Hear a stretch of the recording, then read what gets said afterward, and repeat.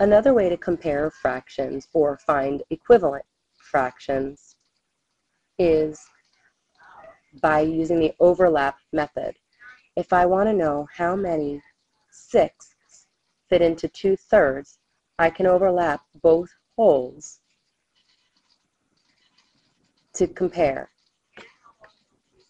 Take a look at this picture. It shows thirds. Two thirds would be two of the green pieces. Take a look at this picture. This picture shows sixths.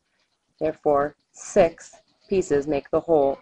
If I want to know how much two thirds is worth in six, I can overlap the pictures and determine that two sixths take up the same amount of space as one third.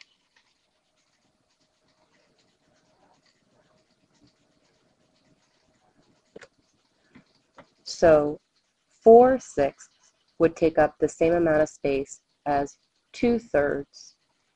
Therefore, I know 2 thirds is equivalent to 4 sixths. This can also help me determine which is greater, 1 sixth or 1 third